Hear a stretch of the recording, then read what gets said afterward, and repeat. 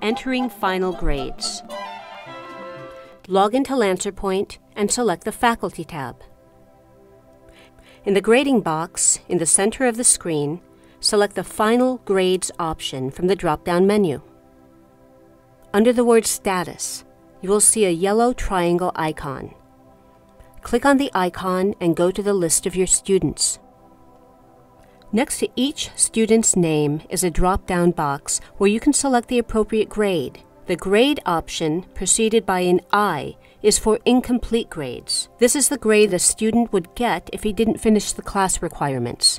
If the student receives an F, NP, IF, or INP grade, you will need to enter the date the student last attended class in the box to the right of the grade. After you have entered all the grades, scroll to the bottom of the screen and click the Submit button. Once you have clicked the Submit button, scroll to the top of the page. You will see a green check mark, which is confirmation of your changes. When you return to LancerPoint, refresh your browser and the yellow triangle will change to a notepad icon. The notepad icon indicates that all grades have been submitted, but that grade changes can still be performed through the web.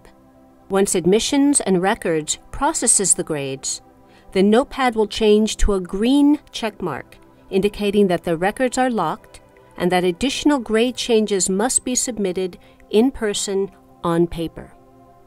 To print your grades for your division office, go to the File button in the browser toolbox.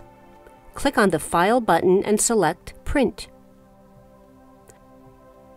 For positive attendance rosters, submit your Excel file electronically to the division office.